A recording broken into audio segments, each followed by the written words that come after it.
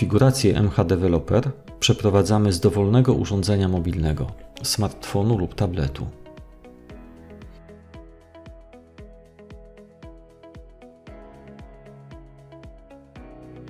Do konfiguracji sterowania serwerem wykorzystujemy aplikację Fox. Zastąpiła ona wcześniejszą aplikację Event Home 2. Otwieramy aplikację. Aplikacja Fox jest przystosowana do obsługi dwóch systemów: przewodowego MH Developer oraz bezprzewodowego sterowania po Wi-Fi systemu Fox.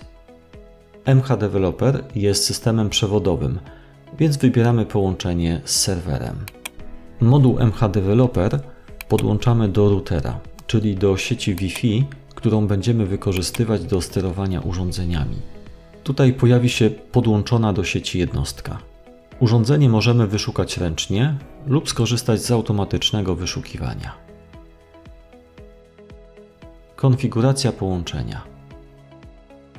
Na liście dostępnych urządzeń pojawił się podłączony do routera MH Developer.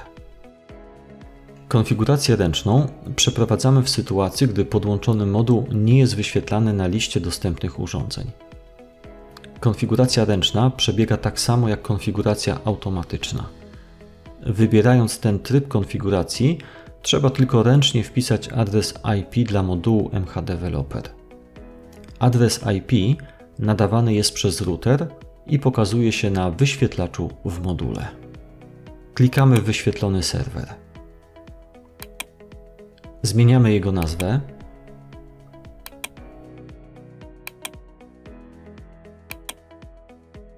W naszym przypadku adres IP został pobrany automatycznie.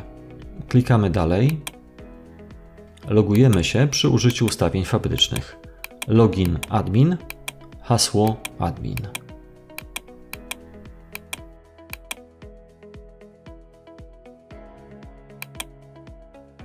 Klikając tak utworzone połączenie, logujemy się do serwera MH Developer.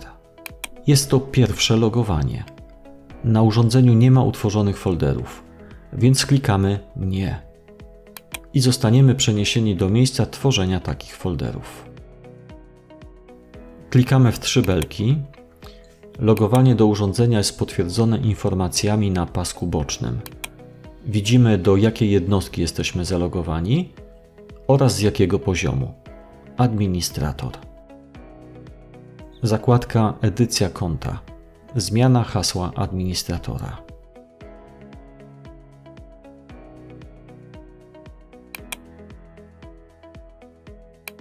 Przechodzimy do zakładki Edycja konta. Zmieniamy hasło fabryczne admin na nasze nowe hasło. To hasło możemy również zmienić później.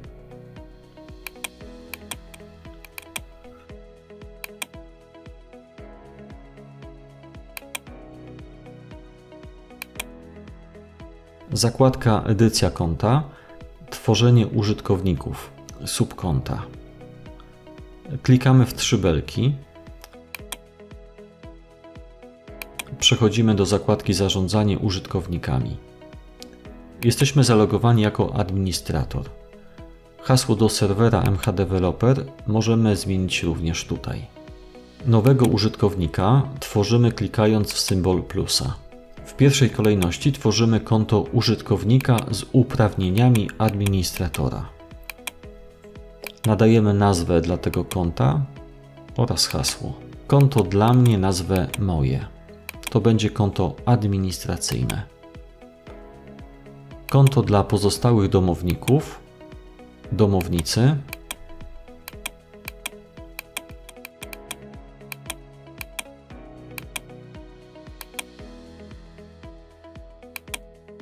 Konto dla gości. Przy utworzonych kontach pojawiły się trzy kropki. Mamy tam możliwość nadania uprawnień dla poszczególnych kont. Klikamy w Zarządzaj uprawnieniami. Zaznaczamy tu, jakie uprawnienia przyznamy temu użytkownikowi przyznajemy uprawnienia do parametrów, które użytkownik będzie mógł zmieniać. Dla pierwszego konta nadaję pełne uprawnienia. Zaznaczę wszystko. Ponownie klikamy trzy kropki. Wybieram drugi parametr uprawnienia do urządzeń. W tym miejscu przyznajemy dostęp do urządzeń do sterowania nimi w domu lub poza domem. Do dyspozycji mamy cztery opcje: zabronione, tylko odczyt, podstawowe, zaawansowane. Również nadaje pełne uprawnienia zaawansowane. Ustawienie to możemy przypisać dla poszczególnych urządzeń, którymi będziemy sterować, lub zbiorczo, z podziałem na sposób dostępu do urządzeń w domu i spoza domu. W taki sam sposób przyznajemy uprawnienia dla pozostałych kont.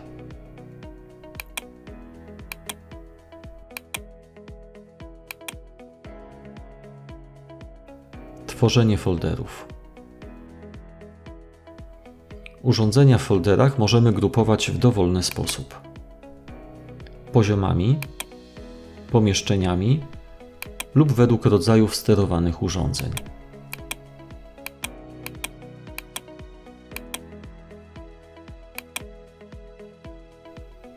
Klikamy w znak plusa i tworzymy foldery.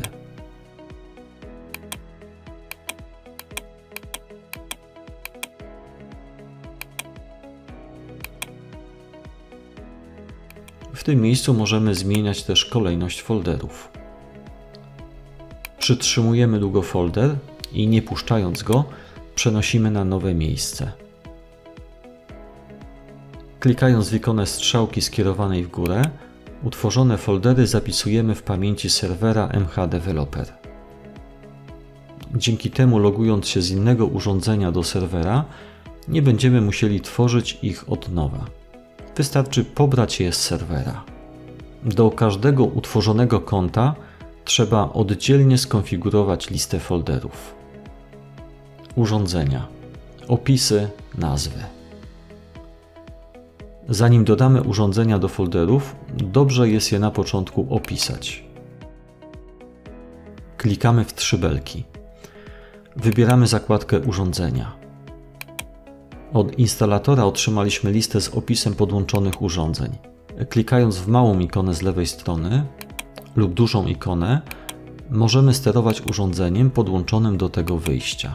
W ten sposób możemy zidentyfikować dany obwód lub upewnić się, czy opisujemy właściwe urządzenie. Klikamy w trzy kropki, otwieramy ustawienia. Możemy dokonać odpowiednich nastaw sterowanych urządzeń. Zmieniamy nazwę, określamy typ urządzenia, czyli wybieramy odpowiednią ikonę dla tego obwodu.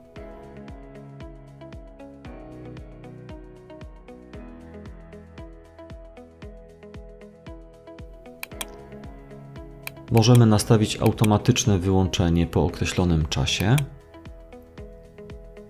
reakcja na przycisk, domyślny stan to stan urządzenia, w jakim ma się ustawić po zaniku i powrocie zasilania. Ustawić z jakim rodzajem przycisku obwód będzie współpracować lub zablokować sterowanie przyciskiem. Zatwierdzamy ustawienia.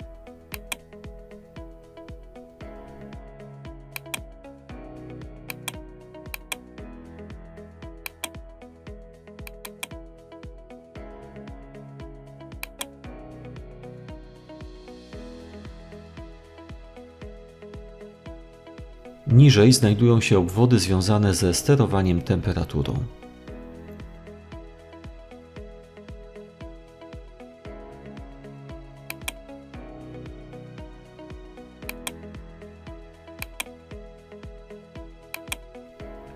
Nazwa obwodu ogrzewania.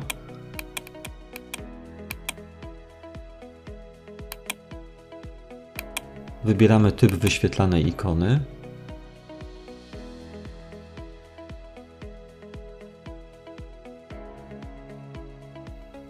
Ustawiamy histerezę dolną i górną, zakres sterowanej temperatury, kalibracja wyświetlanej temperatury, oraz inne potrzebne parametry.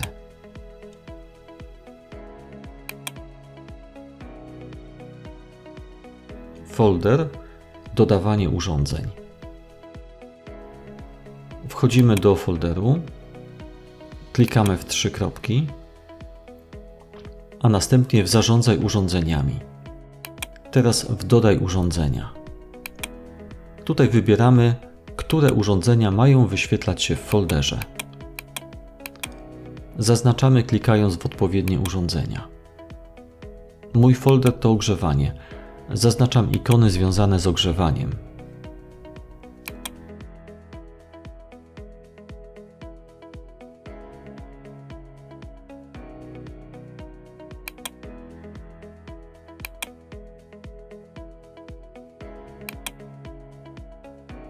Możemy zmieniać wielkość ikon oraz sposób prezentowania wyświetlanych wartości.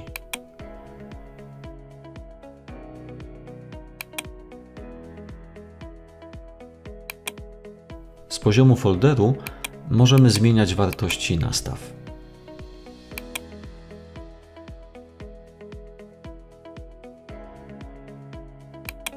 Ikona wyświetla temperaturę odczytaną oraz ustawioną.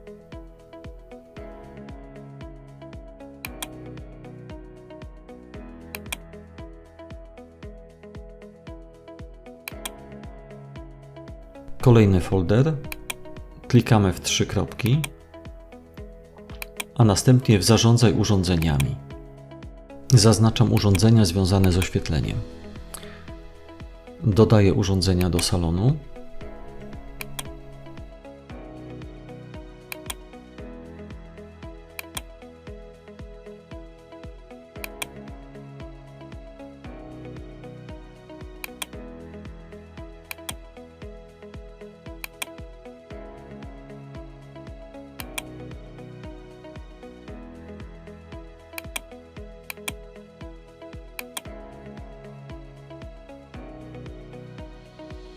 Sterowanie przez chmurę zdalne sterowanie. Klikamy w trzy belki i wybieramy zakładkę ustawienia. Teraz klikamy w zakładkę Manager kont. Jeśli konto do sterowania przez chmurę mamy już założone, podajemy dane do niego. Jeśli nie mamy założonego konta, klikamy w Utwórz konto. Podajemy adres e-mail, z którym powiążemy konto.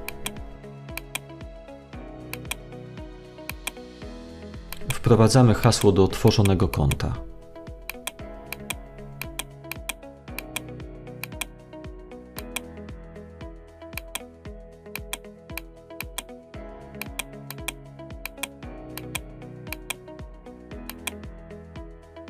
Akceptujemy regulamin i potwierdzamy klikając w OK.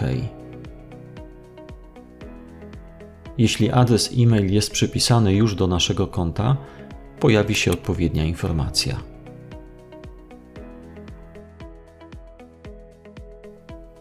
Po utworzeniu konta wprowadzamy dane do logowania w pola poniżej, a następnie zatwierdzamy klikając w Dodaj. Dodane konto pojawi się na naszej liście. Klikając w trzy kropki, podejrzeć przypisane urządzenia. Jeszcze nie mamy przypisanego serwera, dopiero utworzyliśmy konto. Z paska bocznego wybieramy zakładkę Edycja konta i w dwa kolejne pola wpisujemy adres e-mail, do którego przypisujemy teraz nasz serwer oraz nazwę tego serwera. Nazwa może być dowolna, taka, która zidentyfikuje nam tą jednostkę. Zatwierdzamy klikając w Przypisz e-mail. Sprawdźmy, czy urządzenie zostało przypisane.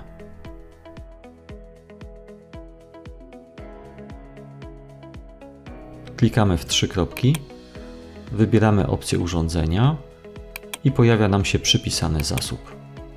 Od teraz możemy sterować i sprawdzać stany urządzeń zdalnie spoza lokalizacji.